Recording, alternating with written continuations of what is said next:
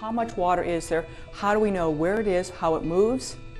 How do we know how much we use? We don't know how much water we use. It's crazy. The types of questions we're talking about, they're big questions. We can find out how much water we use and answer these big questions. We can determine the water budget for a watershed. A water budget is a tool, like your family budget and your bank accounts. To get a bank account balance, you need to know what's already there. In a watershed, this means measuring soil moisture, the water stored in the soil, groundwater, and surface water. These are the stores in the watershed. To get a water budget, we also need to know what enters and leaves. In a watershed, rain and snowmelt are inputs, like deposits, adding up. Stream flow, underground flows, evaporation and transpiration are outputs, like expenses and withdrawals, that draw down the balance in your accounts.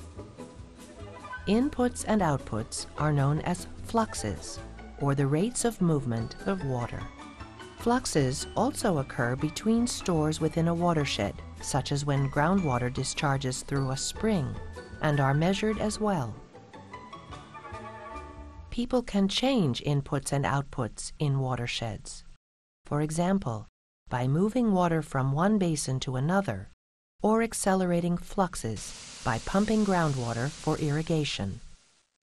A water budget measures the water cycle, the cycle that includes the fluxes of precipitation, stream flow, and groundwater, and the stores of soil water, groundwater, lakes, and reservoirs.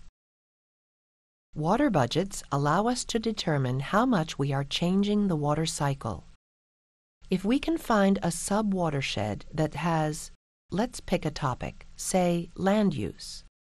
If we find a sub-watershed that has 100% urban cover, but has the same geology, shape, size, aspect, and landform as another sub-watershed that is 100% forested, we can start to look at how urban land use impacts the hydrologic cycle.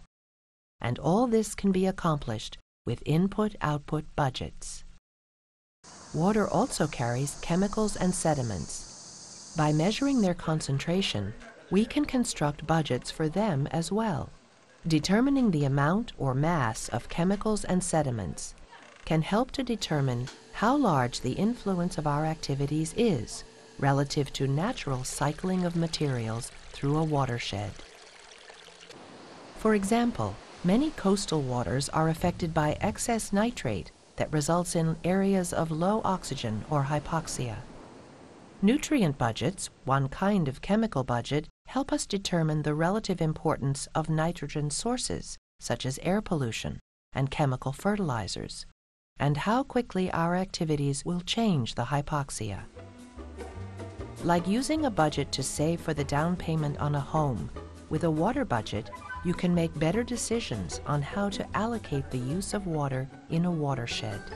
We can know how much water we have and how much water we use. Everyone lives in a watershed. Learn more about where you live.